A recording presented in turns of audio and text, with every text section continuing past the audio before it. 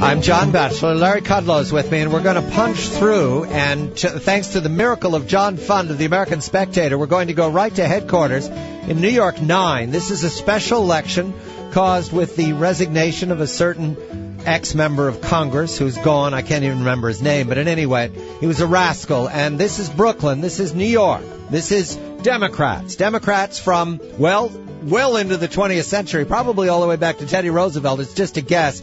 John Fund is at headquarters. Mr. Fund, can you hear me? Yes, I can. And the last time this district elected a Republican was 1920. 1920. There it is, Larry. so, John, what are the early returns? Well, at 3% of the vote in, uh, Turner, the Republican, has a lead over Weprin, the Democrat. Um, that's way too early to call the race, but the trend lines, given where I think turnout has been highest, which is especially in the Orthodox Jewish areas and in the Rockaways, which is a Republican area in south Queens. Um, the Republicans here seem very confident. Ed Koch is the former mayor of New York who has crossed party lines to endorse the Republican Bob Turner.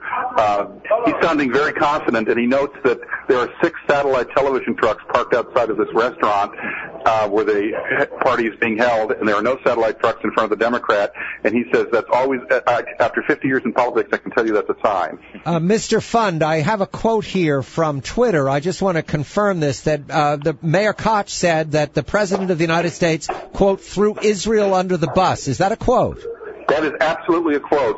Uh, the mayor says this election will send a message all around the world, and it will be a message that will not um, just resonate in New York City. It will resonate everywhere. Mr. Fund, I understand the president, according to this detail, carried this district very heavily in 2008, but he's polling poorly now. Is that on the economy? It's mostly on the economy, but it's also on Israel. 37% of the voters in this district told pollsters Israel is very important to them, and they are overwhelmingly, something like 70 to 30, voting for the Republican Bob Turner. So I think the Jewish vote is, may well tip for the first time in anyone's memory to a Republican candidate. Uh, it would be astonishing, but I think the issue here is Israel. The issue is jobs and also gay marriage, because the Democratic candidate voted for gay marriage, having previously been opposed to it, and I think that's cost him not only with Orthodox Jewish voters, but also, frankly, with some Catholic voters. Was Turner against gay marriage? Uh, he would not have voted for the bill in front of the legislature. And what are Democrats saying tonight, John? What's their line? Nothing. I mean, it's radio silence. Uh, you can't get them on the phone. They never call. They never write.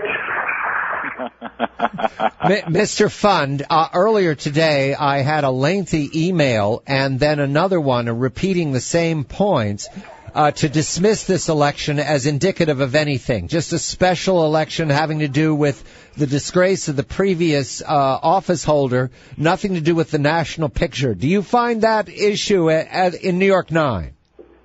I think that um, for a president to be this unpopular in this district, his approval rating is in the 30s, and for a district this Democratic, if it goes Republican, would be significant. Remember, the same people who say this special election means nothing also said that the loss of a Republican seat in upstate New York earlier this year, when the Republicans mishandled the communication and message issues on Medicare, they said that was a national bellwether. You can't have it both ways.